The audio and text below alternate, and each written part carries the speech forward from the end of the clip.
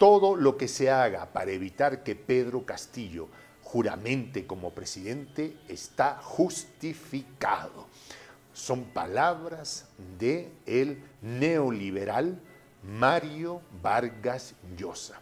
Literal, vamos, lo que él dijo, ¿no? Todo lo que se haga para evitar este terrible proceso, este malvado proceso, refiriéndose a la, a la toma de poder por Pedro Castillo.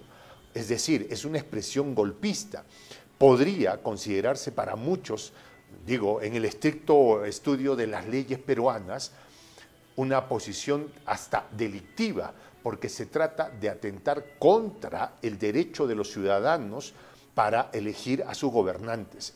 El Premio Nobel de la Paz, perdón, el Premio Nobel de Literatura, ya ven que estos premios se reparten como casinos, el Premio Nobel de Literatura estuvo en una conferencia de su fundación, conferencia que se llamó La libertad y, la democracia en tiempos reacios, que como título para una novela creo que está buena, pero para aplicar a una realidad política en el Perú y en Latinoamérica nada tiene que ver, ha chillado, como suelen hacer los, neoliberales, con esto de fraude, fraude, tratando de poner en posición difícil al presidente Sagastei, que en realidad tiene una posición bastante mediocre, le ha dicho, usted no ha sido imparcial, ¿no? usted ha tenido una conducta este, parcializada a favor de Pedro Castillo, cosa que queda clarísimo, nunca fue así.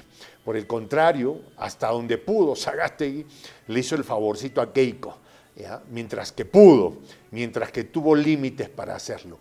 Pero ahora, en este momento, Mario Vargas Llosa, con todas las letras, comienza a conspirar y a decir que todo lo que se haga para evitar que Pedro Castillo tome el poder está justificado. ¿Justificado qué? ¿Las guarimbas? ¿Justificado los guaidós? ¿Justificado la vulneración de los ciudadanos al estilo uribista? Dime qué cosa piensas que tienes tu derecho, Vargas Llosa crees, ¿De dónde crees tú que tienes este, eh, el, este, el marcador para decir qué cosa está justificado o no? Quién sabe, quieras ver con mayor simpatía a tus ancestros neoliberales, justificadas las prácticas de Pinochet y Videla, justificado el golpe de Estado en Bolivia contra el pueblo, justificados en Cata y Sacaba, queda con claridad el tipo de bárbaro que eres Mario Vargas.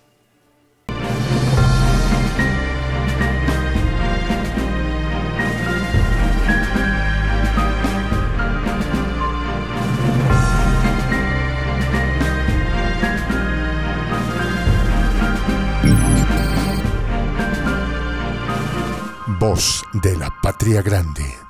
Reapareció el escribidor Mario Vargas Llosa, el Nobel de Literatura y ultraconservador. Vargas Llosa volvió a pronunciarse luego de un largo silencio.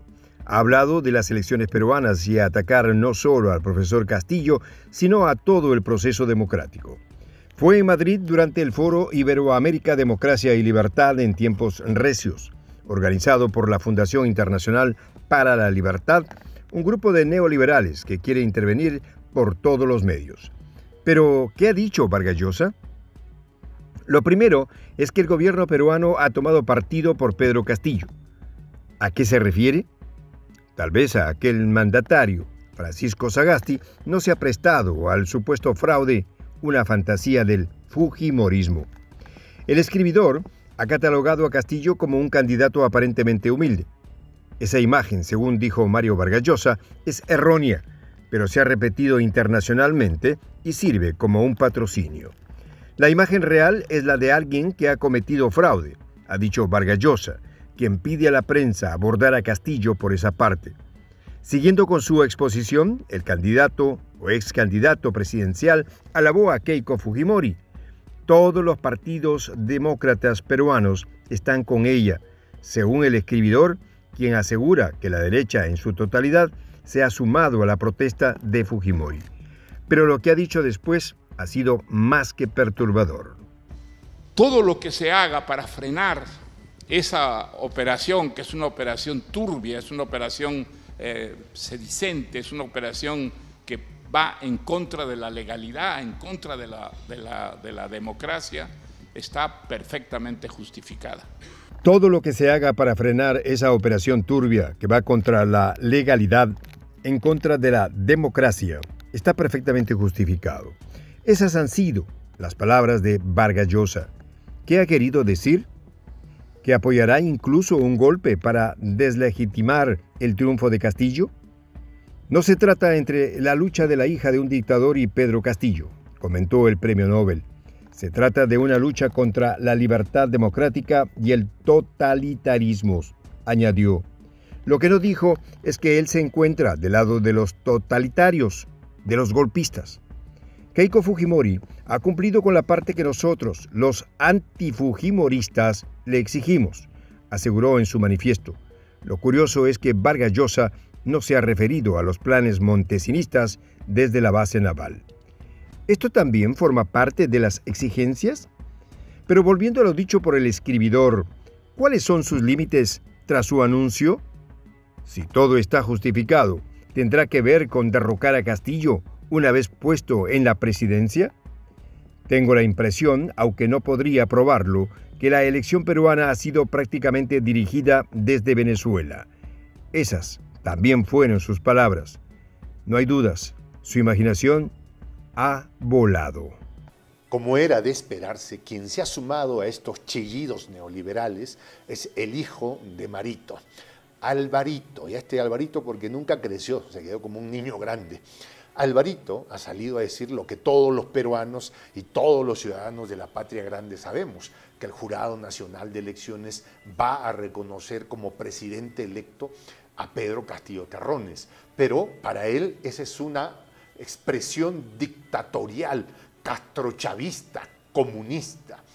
Vaya, vaya.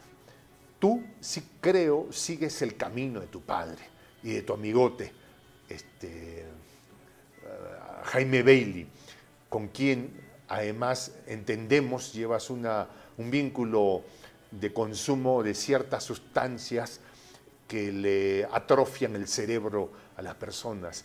Y hace tiempo, desde acá, le hemos pedido a Álvaro Vargas, hijo del marqués de Vargas Llosa, que nos cuente cómo resuelve su vida, a qué se dedica, de dónde tiene los ingresos que tiene, porque ni los artículos que escribe, ni los supuestos libros que escriben, los ha comprado nadie, o creo que nadie tampoco pagaría por leer las sandeces que publica, la pregunta es, en redondo, ¿quién te paga la vida?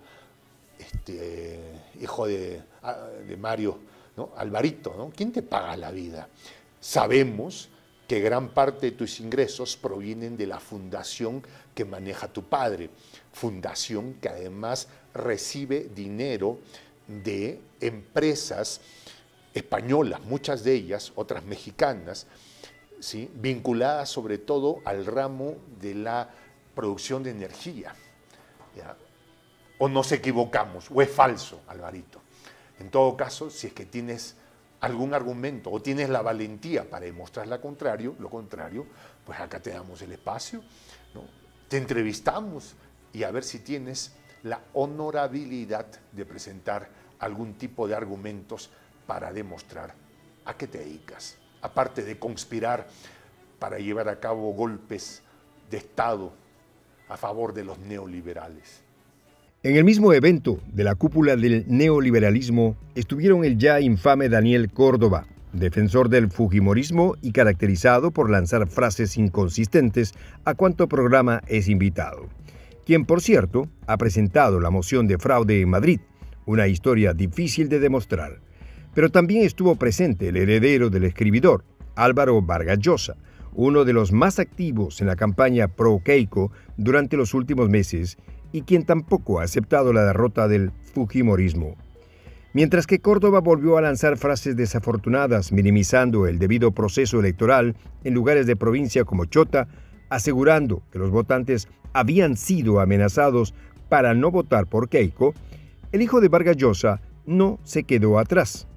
Si el Jurado Nacional de Elecciones confirma la victoria de Castillo, será un desastre que debe ser evitado, aseguró Vargas Llosa, con frases igual de golpistas que las de su padre. ¿Es un desastre la democracia para Alvarito? ¿Es algo que se debe evitar? Las sugerencias de golpe continúan. E increíblemente los organismos internacionales no han hecho un llamado a la calma. Veremos qué consecuencias tiene estas declaraciones y si el orco del pantano, Luis Almagro, termina cediendo a los chillidos del Fujimorismo. El pueblo peruano permanece expectante a la proclamación de Castillo, que se estima será el 15 de julio. Soy el J, Juan José del Castillo, director del canal Prensa Alternativa. Si quieres ser parte de la comunidad de la Patria Grande, suscríbete a nuestro canal. Si es que quieres que te lleguen las notificaciones cada vez que subimos un video, activa la campanita. Si quieres apoyar a nuestro canal económicamente, puedes hacerlo a través de PayPal. El enlace está en la descripción del video. A nombre del equipo de prensa alternativa, me despido con esta expresión en el quechua milenario, Tupananchis Kama, cuya traducción es hasta volvernos encontrar.